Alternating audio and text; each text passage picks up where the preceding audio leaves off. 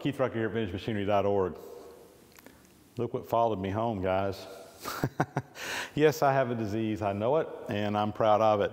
But uh, picked up another new machine, new to me, obviously not very new, uh, something I've been looking for. So I've been looking for a good vertical bandsaw to use in the machine shop on the metalworking side for cutting metal for some time. And I have always really liked these DoAll saws. They are just uh, the top of the line in my book.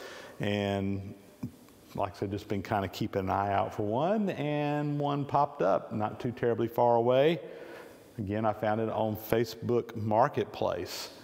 Person had this thing posted, had a really terrible picture sitting out in a shop. It was piled up with junk. It was so piled up with junk when I looked at the picture in the ad, I couldn't even tell if there was a table on this thing. Uh, but I decided, hey, it's not that far away from home. The price was really good. So I'm gonna go take a look at it. Rode out there, and while this machine is definitely, I would say, rough, it's, it's all here. Uh, and really it's not in that bad a condition, I think, once you get past the paint job and a little bit of surface rust. So here's the story on this. There's a farmer that lives over there that had brought this home to his home farm shop. He actually had it in a shop where he was working at previously. They were getting rid of it. He bought it. He brought it home to his farm shop about 20 years ago. Didn't have three phase at his farm shop. He said he was always going to replace the motor, put a single phase motor in it never did it. He actually started to take the motor out, didn't get it even completely out, and kind of gave up, and it just kind of sat there.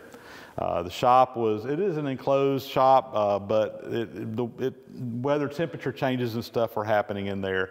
And it's basically set for about 20 years out in this shop, covered in dust. Of course, the paint job's all crinkled off of it.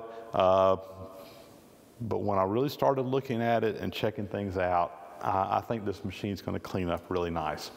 So what it is, is this is a, the, the vertical 26 inch bandsaw made by DoAll.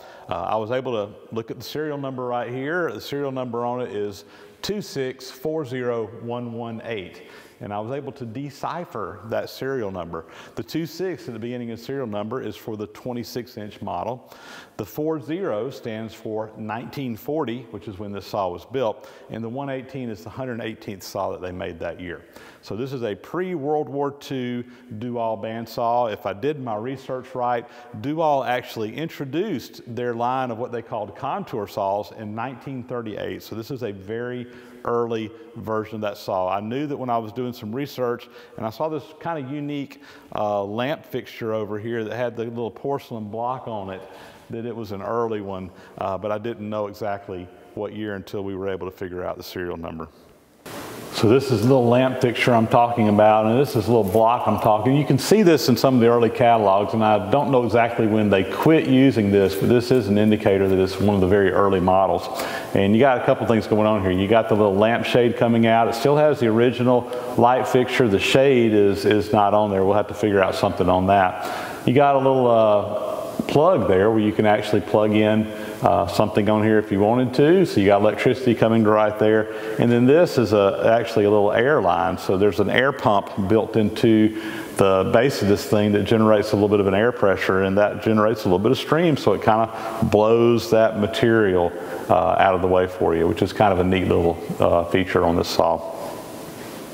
So while the paint job on here is obviously looking pretty bad, got this old paint that's just coming off and it looks like someone had repainted this at some time with this green paint. I think it was a dark gray color originally. Uh, but when you open up the doors, uh, it actually looks a little bit nicer on the inside, uh, relatively speaking. Uh, but you can kind of see in here, the, the wheels are all uh, turning. Uh, you know, we might look at replacing bearings on this. I'll take a look at that later on.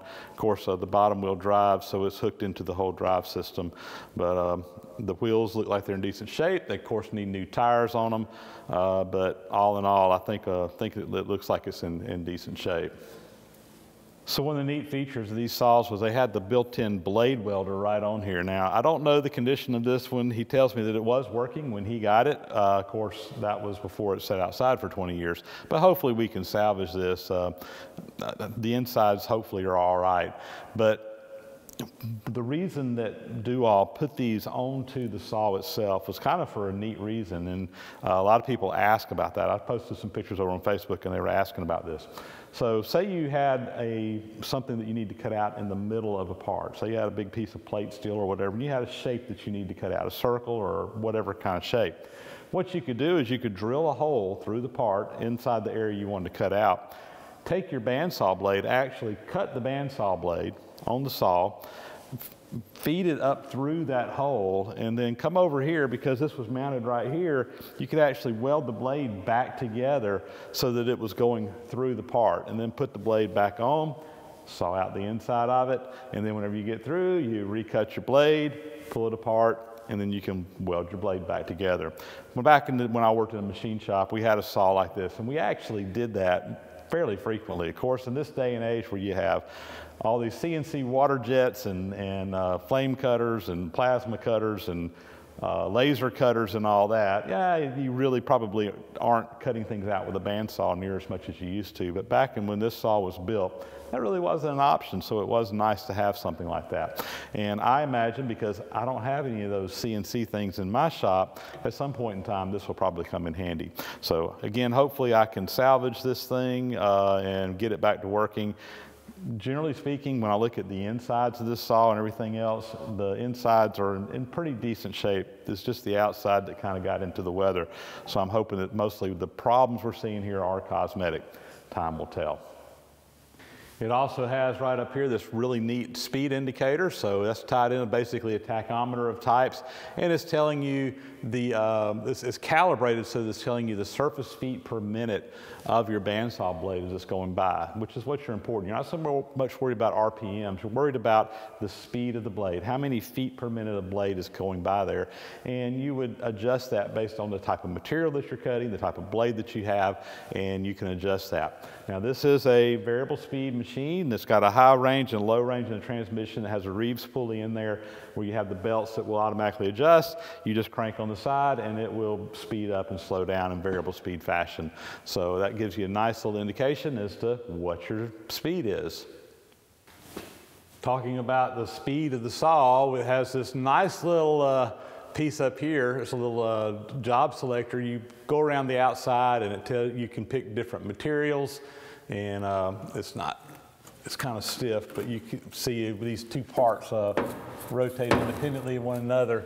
But you figure out what your material is, and you can tell what type of uh, saw blade you have, whatever in here. It'll tell you how many teeth per inch you need, what type of set and temper you need, and then it'll tell you what the, the, the speed is for the saw in uh, feet per minute, right up here. And uh, so that right there will tell you. Now, I had several people asking about this. They're saying file speed. What is that? Well, you could actually get band files, which is kind of like a bandsaw blade, but instead of a cutting blade, it actually had little file teeth on it. It was kind of like a chain uh, that kind of went around this thing, and you could use it for filing. Uh, those old uh, band files are getting kind of hard to find. I actually got the guides that go that you can use that with with this saw, so uh, that'll be kind of interesting if I can find me an old band file to put on here and do some filing. I uh, don't know how often I'd need to do it, but it would be kind of cool. Now, I will say I, I, I, took the guides off. I've actually been soaking those in some Evapo-Rust and cleaning them up. It came with the guides. It came with the actual little metal pieces. I got a whole bunch of those, various different ones that, that hold them in place, and even came with a couple of extra saw guides that go on here. So nice to have all that extra equipment. Uh, one neat thing about this is this has got a hydraulic feed built into it as well. So if you're cutting a big piece and you want to actually kind of have something to kind of feed the part in, now, later editions of the Do-Alls, they actually have where the whole table will hydraulically feed in.